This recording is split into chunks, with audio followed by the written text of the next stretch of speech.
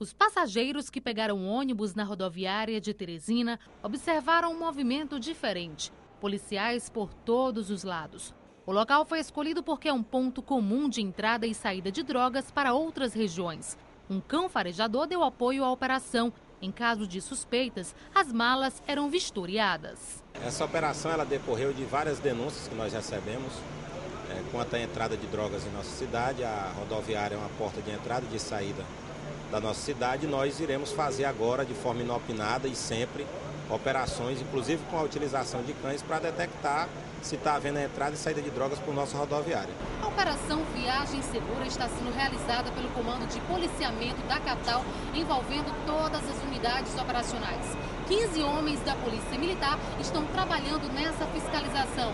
Estão sendo vistoriados todos os pontos de embarque e desembarque da capital.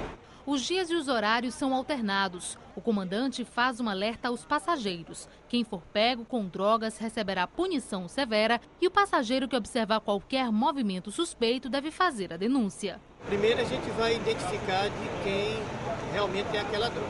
Sendo identificado a pessoa, nós faremos a condução para a central de flagrante para que sejam adotadas as medidas administrativas cabíveis, né?